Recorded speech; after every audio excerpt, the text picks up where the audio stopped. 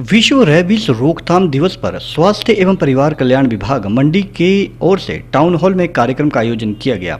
कार्यक्रम की अध्यक्षता नगर परिषद अधिकारी बी आर नेगी ने की। वहीं मुख्य शिक्षा अधिकारी डॉक्टर देवेंद्र कुमार शर्मा इस मौके पर मुख्य अतिथि के रूप में मौजूद रहे।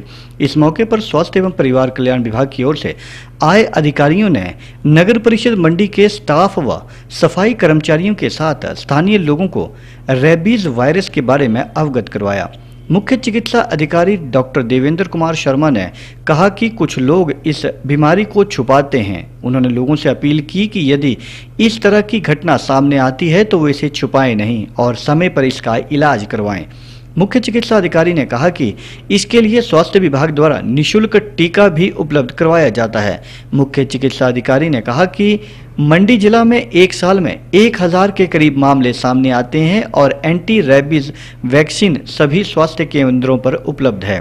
उन्होंने कहा कि रेबीज एक वायरस से होने वाली जानलेवा बीमारी है। ये वायरस व्यक्ति के दिमाग पर प्रभाव डालता है। उन्होंने कहा कि यदि ये बीमारी पूरी तरह से दिमाग पर चढ़ जाए तो इसे बच पाना मुश्किल है। सरकार ने रेबीज की रोकथाम के लिए राष्ट्रीय रेबीज नियंत्रण कार्यक्रम भी लागू कर रखा है। इसमें कुत्ते के काटने के तत्काल बाद चिकित्सीय देखभाल की ज़रूरत के महत्व और निवारक उपायों के बारे में भी जागरूकता उत्पन्न करवाई जाती है।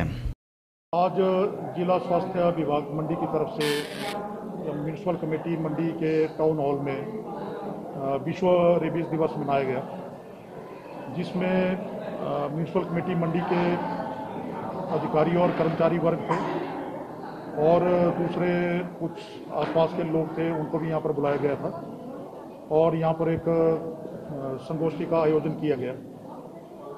रेबीज एक वायरस है जो एक जानलेवा बीमारी है, जिसमें एनकेफलाइटिस होता है। दिमाग में इसकी तकलीफ़ होती है।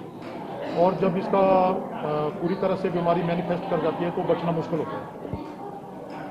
भारतवर्ष में साल में जो एनिमल्स हैं जिसमें कुत्ता है चिमगादड़ है बिल्ली है या गाय बैल वगैरह दूसरे जो रेबीज बीमारी से ग्रस्त होते हैं सत्तर लाख लोगों को आ, एनिमल बाइट के केस होते हैं जिसमें से बीस हज़ार के करीब लोगों की मृत्यु हो जाती है। और पूरे विश्व में पचास हज़ार के करीब लोगों की मृत्यु होती है। तो भारतवर्ष में ये आंकड़ा काफ़ी ज़्यादा है। और इसके बीमारी का कोई इलाज नहीं है। जब बीमारी हो जाती है, कोई इलाज नहीं है, इसका सिर्फ़ बचाव ही है। और इसके बारे में विस्तार से चर्चा की गई। और एक संदेश दिया गया कि कुछ लोग हैं, वो जब कोई डॉग बाइट का केस हो जाता है तो उसको बीमारी को छुपाते हैं। तो ये बताया गया कि इस बीमारी को छुपाया ना जाए और समय पर स्वास्थ्य संस्थानों में आकर आकर इसकी सूचना दी जाए और जो भी हमारे राष्ट्रीय जो कार्यक्रम है उसके तहत जो भी फ्री इसके जो इंजेक्शन मिलते हैं उनका फ़ायदा उठाया जाए और अपनी जान बचाई जाए। जिला में सर अगर बात की जाए तो क्या मतलब कितने रोगी हैं? बीते वर्ष के हिसाब से क्या आंकड़ा है? और कहाँ कहाँ इसका जो है उपचार जो है सब सब जिला में हमारे पास कोई एक हज़ार के करीब डॉग बाइट के केसेस सालाना आ जाते हैं पूरे मंडी जिला में। और इसका जो इंजेक्शन है एंटी रेबीज जो वैक्सीन है इसका, वो हमारे सभी प्राइमरी हेल्थ सेंटर लेवल तक मिलता है। और पर्याप्त मात्रा में हमारा इसका स्टॉक है। और लोग जागरूक हैं और काफ़ी लोग इसका फ़ायदा उठाते हैं। और हमारे से पूछते भी हैं कि कहाँ इंजेक्शन लगेगा जो भी हमारे स्वास्थ्य कर्मचारी हैं उनसे पूछते हैं।